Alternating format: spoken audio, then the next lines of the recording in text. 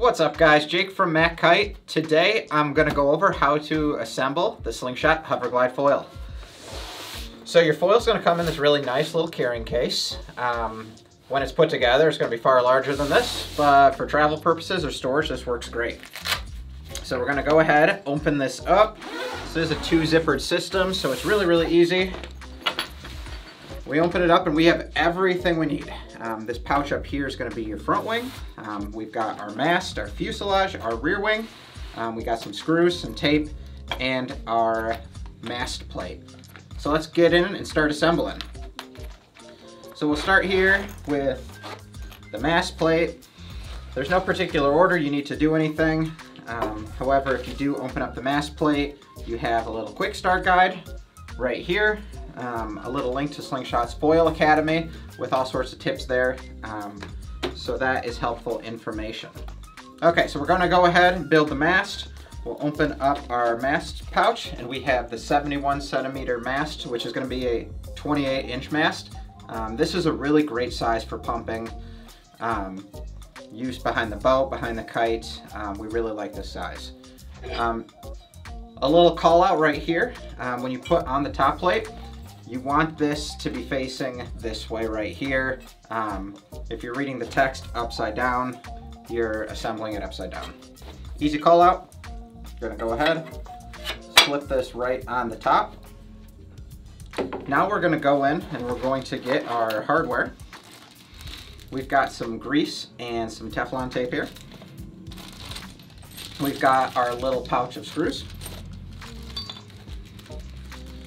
We've got the Allen keys that we're going to need for assembly. We've got our shim, which we'll use later. We have a little mast cap here that we'll get into later as well. Um, so as you are assembling your foil, you are going to want to tape your screws. Again, this is included. Um, they give you grease as well. Both will work. If you're going to leave your foil assembled for a longer period of time, um, we might recommend using the grease.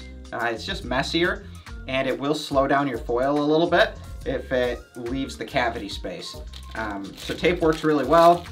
Um, as you tape your screws, we won't go over and tape all the screws in the video for the sake of brevity, um, but just make sure to run the tape opposite um, the direction you're actually threading your screw in so it doesn't come off as you're putting it on and you'll be in business. You will want to make sure every couple sessions to disassemble your foil um, that's going to allow you to clean it out, get the salt out of there, um, get the sand, retape the screws as necessary.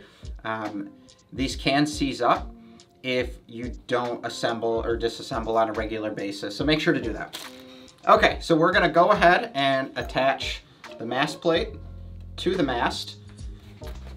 If you need to consult which hardware you need, you can go ahead and access your quick start guide right here, and it's gonna break down all the pieces of hardware, what tools you're using, um, and again, everything is included that you need. Um, so this is going to require the M8 by 40 millimeter bolts. Um, you will notice it requires an M8 by 50 millimeter later on in the instructions. So that's a nice little call out. Um, you can go ahead and set the bolts up. And we need the smaller ones right here. Very easy call out. Don't use the bigger, the bigger ones. Those are the 50s. We'll use them later in the process. So we can go ahead and hand tighten for the start of this.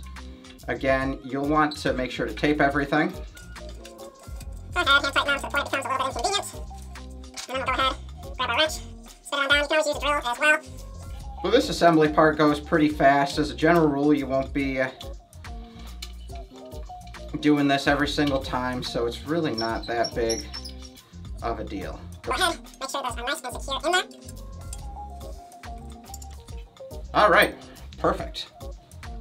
First part, done. Good job, guys. So we'll go ahead and just set this off to the side for now. Now we're gonna go ahead and build out the wing set and fuselage. So we'll go ahead pull out our fuselage here. We'll get our rear wing. And then we have our front wing up here. With these foil setups, they do include the covers, um, a front and a rear wing cover. These are really nice. Uh, previous generations had a larger cover that fit over the entire apparatus. Um, I kind of like the precision fit of these stretchy neoprene covers. Um, they're a little bit more padded and they're far less bulky. Okay, so we are gonna go ahead and install the rear wing now. So we're gonna take our fuselage, our rear shim, and our rear wing. One of the easiest things to do is start by lining up the rear wing on the shim. You'll notice there's a little cutout down here um, that matches a raised edge here. So once those lock into place, you are good. We are now going to take our M6 bolts and we can start by pushing these right on through. We're gonna then go ahead, line them up here on the actual fuselage. And this is just an easy way to make sure everything's lined up properly. We're gonna go ahead, then take our little wrench and go ahead and tighten these bad boys down. On some of the larger wing sets that Slingshot offers, uh, namely the 86 and 99, the rear wing is actually going to mount to the underside of the fuselage um, and that is to counteract some of the drag you're gonna get from those larger front wings. Um, so the slingshot setup is incredibly interchangeable, but if you are going with a wing in the 86 or 99 range, um, you will need to get the larger rear stabilizer. This is the 42. The larger is going to be the 48. So you can see we're locked in here nice and secure. Again, make sure you're taping everything as you're putting this on. Give it a few good torques to make sure it is really in there.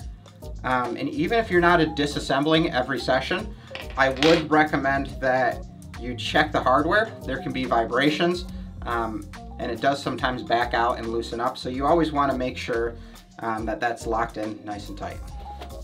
So now we're gonna go ahead and we are going to pop the front wing on. We're gonna unzip. Again, it's elastic, so you're gonna give it a little bit of a yank.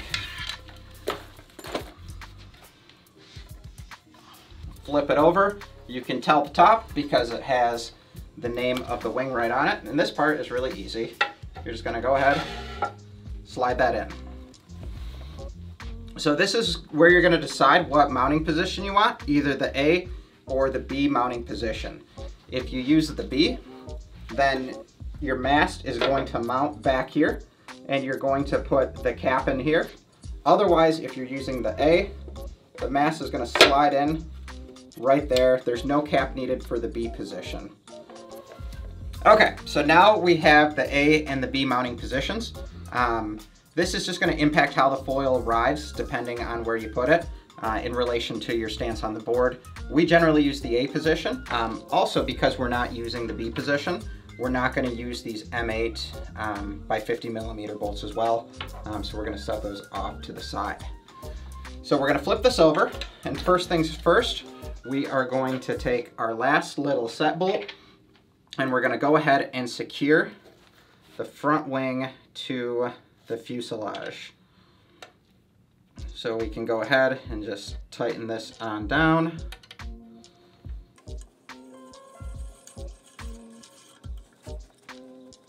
Easy peasy, we're nice and locked in. All right, we're nearing the very final steps of assembly.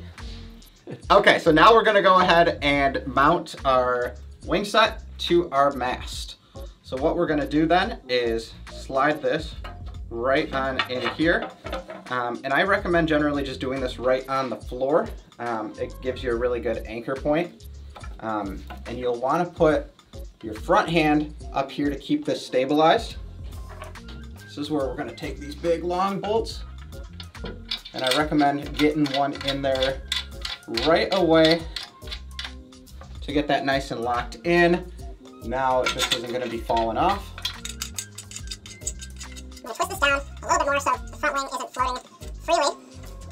Now we can bring this down. So we'll go ahead, tighten these down. You wanna make sure they're nice and flush. Um, they're not sticking out at all. We'll go ahead, turn it over, and you have your foil assembled. So just to review a couple quick uh, things that we discussed earlier in the video. Again, make sure to take your foil apart every couple sessions. Um, retape if necessary, clean it out, flush it with fresh water. Um, you don't want that corrosion to build up there and seize up the hardware. Um, also after every session, um, keep your wrenches with you, go through and just any kind of visible bolts, give them a couple turns um, and make sure they're properly locked in there. Um, when you are hauling your foil around, I recommend popping the covers on. Know there's a way to do this with This rear wing on just like that. Go ahead. This is going to prevent you from dinging this big, beautiful front and rear wing. Okay, as you pop your front cover on, you're gonna notice the big slice right here. That's to accommodate the mast in the A position. Um, so even though the writing is on the underside, you are going to mount it upside down so it properly fits. All right, there you go. You guys are in business. Um, a very last thought, I would recommend going through this hardware guide. Um, and if you are gonna be traveling at all, um, you're gonna be in an area where, I don't know, it's not easy to get hardware um, or in touch with somebody or receive any packages. It's not the worst idea to order up an extra set of each piece of hardware. Um, in the event something does seize up or need maintenance, um, you got some spare hardware ready and raring to go to you have some spare hardware ready and raring to go. And you can go ahead and just store everything right here in your travel case. It's an easy reminder for where everything is. Guys, thanks for checking us out. This has been How to Assemble Your Foil.